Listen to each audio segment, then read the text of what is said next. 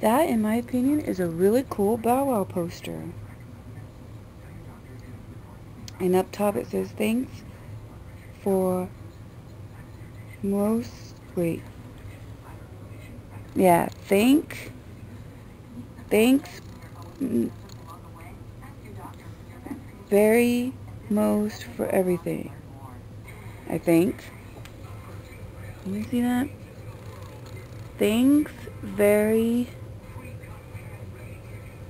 mo I don't know. Anyways, bow wow wow yippee oh yippee where my dog's at.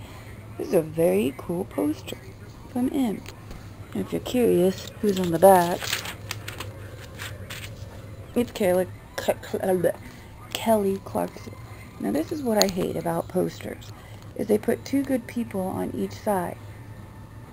I think they do that on purpose so you'd buy um, two magazines so you can have both posters, one on each side on your wall.